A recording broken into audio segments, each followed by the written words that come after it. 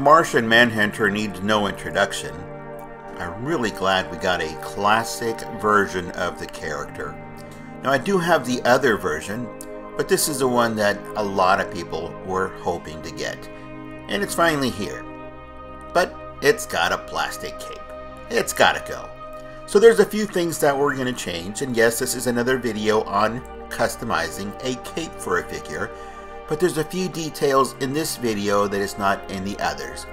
So I do recommend you watch it till the end so that you can see the finished product and you can see a lot of those details that I have not shared with you in prior videos. So let's get started with this project and start on customizing this cape.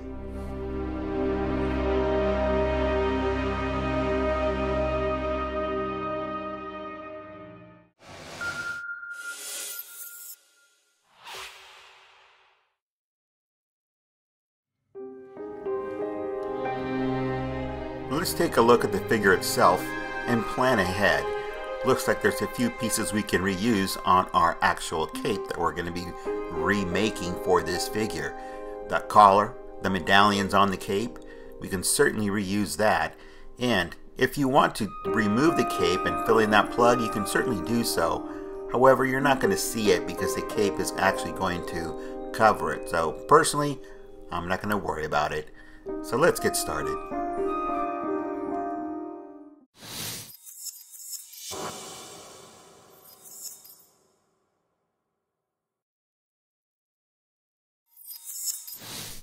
Just like many of my past videos, I've already done the project. I'm going to show you now what it is I did with this new piece of material so that you understand the process of what it took to make this actual cape. So starting with a piece of cotton, you want to double it up, fold it over, and you want to cut it to the size you need. This is going to be a size that is 9 by 8. Very similar to the cape that you saw earlier for the Ultraman figure. So yes, we are using the same pattern. However, we're going to exaggerate the excess material in the center. Instead of going in one inch, we're going to go in two inches. Now, as I mentioned before, this video will have details that I did not otherwise show you in the other videos. For example, measuring out the lines for making that pocket for that wire. You want a quarter inch in between the two margins that you're going to be drawing in. Now I'm using a permanent marker. You don't have to. You can use something else if you like. A pencil, a, a white grease pencil, a, a crayon, etc. Even soap. Now, you want to have a quarter inch of margin on both sides. That's going to be your pocket for the wire. You want to angle it in one inch above at the very top and coming in from the corner. So it's going to be an angled drawing. As you can see here, now you're going to center up your material in the center. And this is my template for making my curves. Pretty snazzy, huh? Reusing some old plastic from another toy. So it's got a perfect curvature. It's great for the bottom end of the cape. I come in and make the bottom end curved here and I just extend it by matching in the ends on both left and right. Now I'll be overlapping the lines that I've drawn in from the corners to the top and that is going to tell me where I'm going to sew my actual stitching and it's going to give me a nice drawn line to follow. I do this because it's very difficult to do so if you are just winging it. You've got to have a pattern to follow. So at the top, we're going to cut in for the actual collar. And Martian Manhunter has a very small opening at the top because he literally has a collar that folds over. Now we're going to be reusing the collar from the other cape. Now as you can tell here, I've already ironed it out. That's why it's wet from the steam iron. Now at the top, I have my margins that I've uh, drawn in and using the graph at the top, I'm now going to separate the first layer and I'm going to move it in two inches precisely where that collar starts. So I'm going to go on the left side and now you can see this excess pocket of excess material that we, we can use now to make pleats, etc. I will do the same on the opposite side taking it in two inches, using the grid at the top to be precise. So now we've got all of this excess material on the center. Now what we've got to do is clip it. I'm going to use these alligator clips. If you've got pins, fine, great, use them, do what you do. If you've got tape, use tape. So I'm going to use these alligator clips, two at the bottom, two at the top. That's only to hold it while I put it under the sewing machine. This is not going to be here permanently.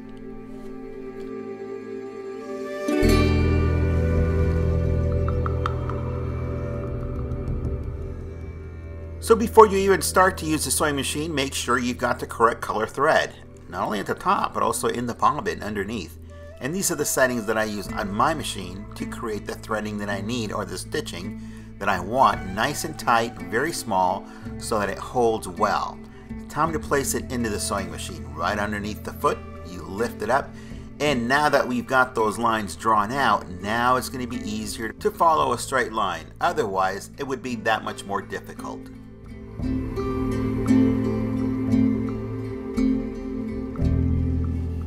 So these are some of the details you otherwise don't get to see in some of the other videos. And it's best to start off slow and go slow and be accurate instead of being very quick and not being accurate at all.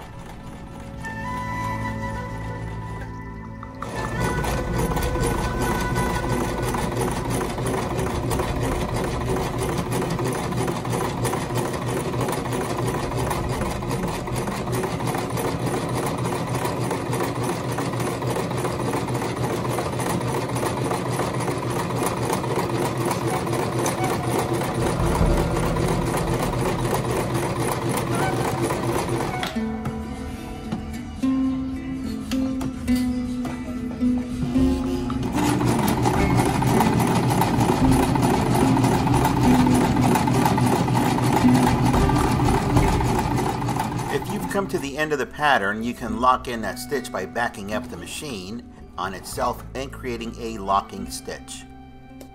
When turning a corner at your pattern, lift up the foot, turn the material, replace it on top of the next line you're going to follow, and continue sewing as you did before, slowly and accurately.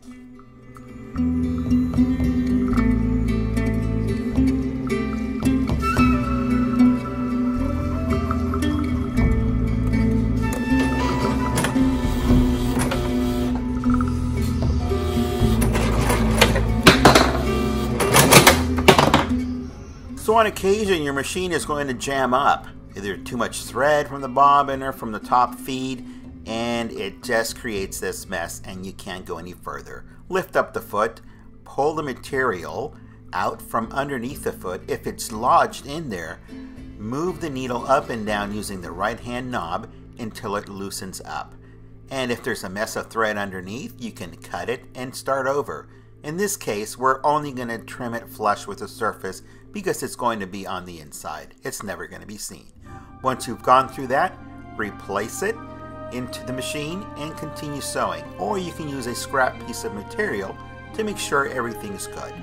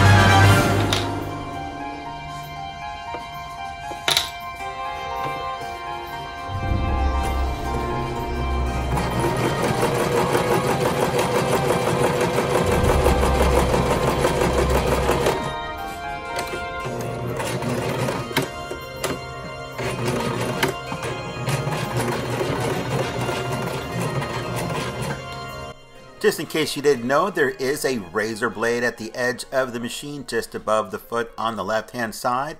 and that is for cutting those threads once you're done sewing that particular project.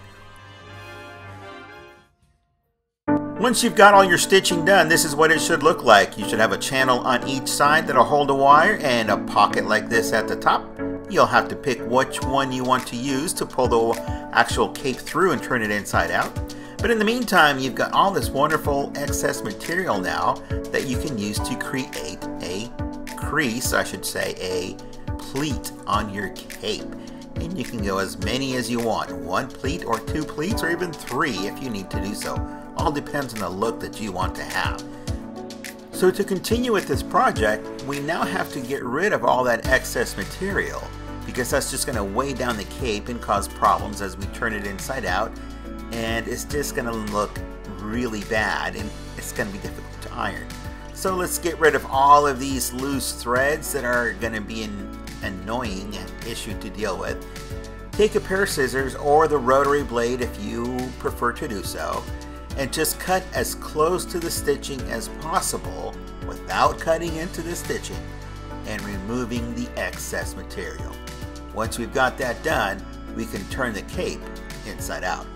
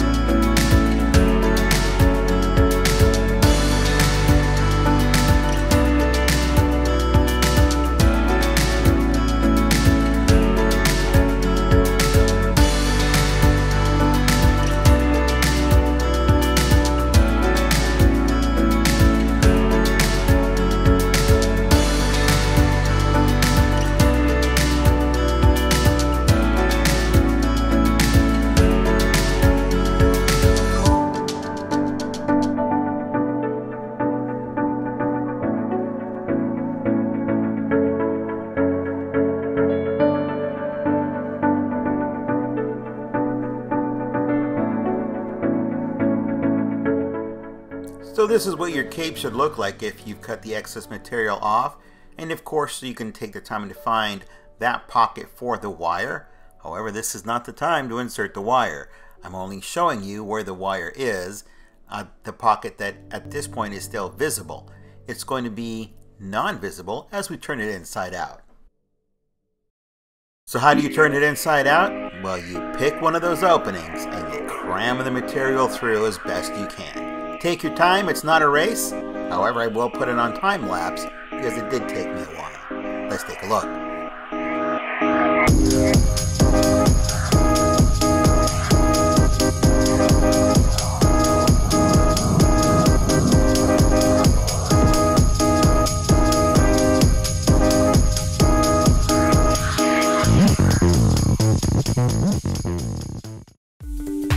Now this is our completed cape. It is now ready to have wires added to it, any logos that you want to implement, etc. The best thing is you have hidden stitching and you've got wires that run on the inside.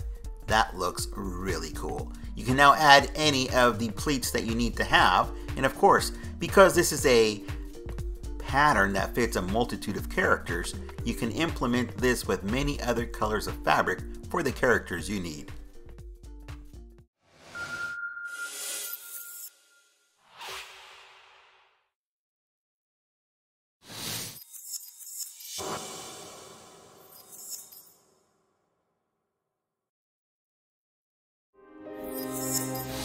So let's talk about paint. And the paint that I use is the Vallejo Premium. Obviously I used the red and I did not airbrush it. I did mask it out, but I used dry brush technique. And of course I waited between layers for it to fully dry before going in with a second layer. It is a self-leveling paint and it gives you a nice smooth finish if you do it correctly. Now this is not the case in which to use a liquid mask. It would have been a total mess because it becomes sticky as it's drying, and you saw how I just handled the figure. I would have had liquid mask all over my hands. So masking tape is the way to go in this particular case. If you want to remove that bandolier, you have to unglue it from the mid back. And I decided to leave it right where it is because I did not need to do any kind of paint to the actual body. It looks fine just the way it is. Now this is the original cape on the left, and I removed those medallions by cutting those straps. I actually didn't have to. I could have just heated them up and removed them. They're just glued in. Now, I attached them to my new cape via some straps that I made and I inserted into the actual cape. And I glued those with the super glue. Now the actual collar is also from the original cape and then I just wrapped it in fabric. And now it can sit over the shoulders and it's got those pegs on those medallions and they fit right into those peg holes where they were originally. Now I am going to use a different glue. It is the Fabric Tack glue. Why?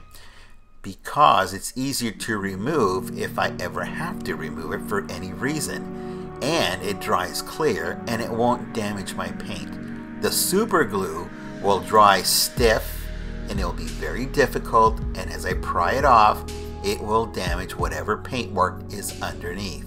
So it's best to use a different glue that you can actually heat and remove with uh, a lot easier or better results than having to deal with super glue. Super glue is not the best for everything, and of course, the Fabri-Tac glue is not the best for everything either. They each have their purpose.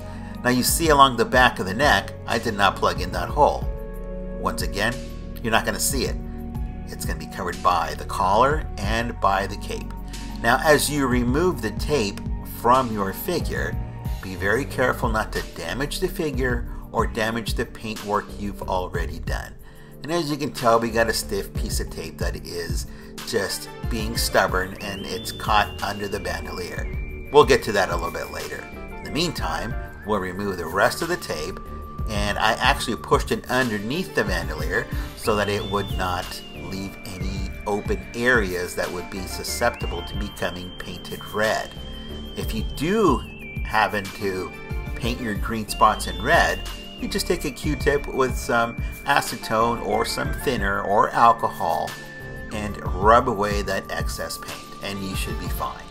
Once you've got it taken care of, you can clear coat your paintwork if you need to. And many times a paint like this is not going to need it because it is a permanent paint unless you want a flat or shiny surface depending on the varnish that you are using. Let's get this thing back together and take a look at the finished product.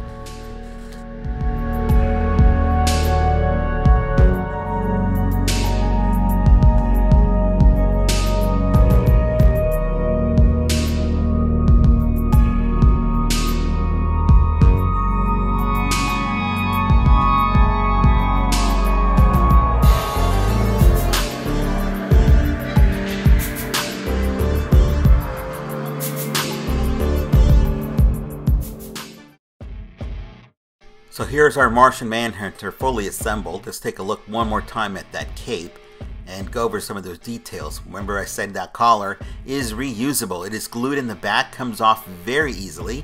And as you can tell, again, I did not plug in that hole in the back. It's going to be hidden by the cape and by the collar.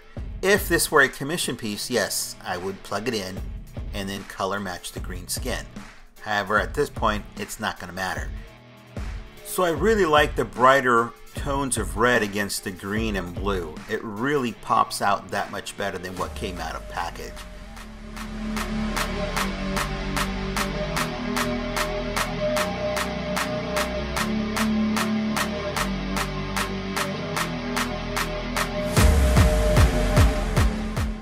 because those medallions actually have pegs at the bottom that peg into the blue cape. I didn't know that at the time until I was taking it apart. So I created a blue strap out of the same cotton material and I put a hole punch in it for that peg to go through. I rounded it the edge so that it fits the medallion and then I cut off just enough lead to slide it into the opening of the cape and then cut another hole or half of a hole punch on the cape itself to fit around the medallion underneath without it causing a, um, excess material that is just not fitting correctly. So now the cape itself has the collar glued to it on the inside, just like it does on the original plastic cape. So the entire collar does not glue around to the cape. It is only glued around in the back. And that's because that collar is flexible and posable on its own so that the cape is fully mobile and functional on its own. Now I'm going to use a different glue here because if I use the super glue as I mentioned earlier, it's going to dry stiff, it's going to be really difficult to remove, and it'll damage anything underneath. But notice how those medallions now sit really flush to the body. This is the Fabri-Tac glue I'm going to use to glue this down. It takes a few hours to dry, so you have to fill in that cavity, add a little bit to the peg underneath that uh, medallion, and then tape it down once you put it in place. Be very careful not to get any glue on the fabric.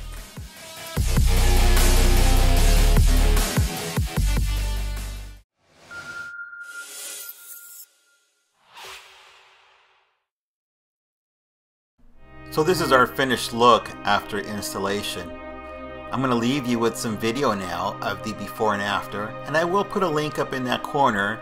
And just to let you know once more, I do have an Amazon affiliate account, so any of the products that I am now using from now on on these videos will be listed in the description for you to purchase. And of course, just remember, I do get a kickback if you do make that purchase, and that is so that you can complete your projects as well. If not, I'm sure you'll do a better job than mine.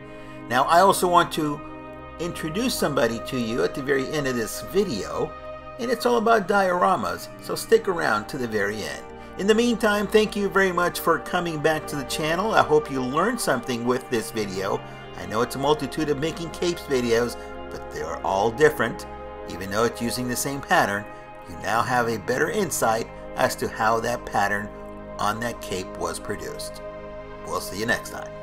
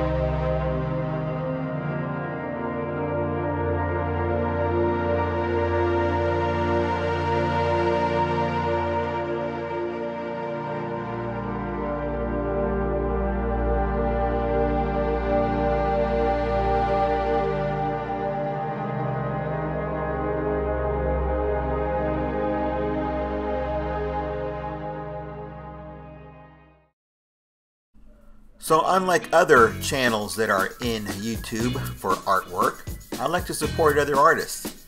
And I want to introduce to you Wes Burton.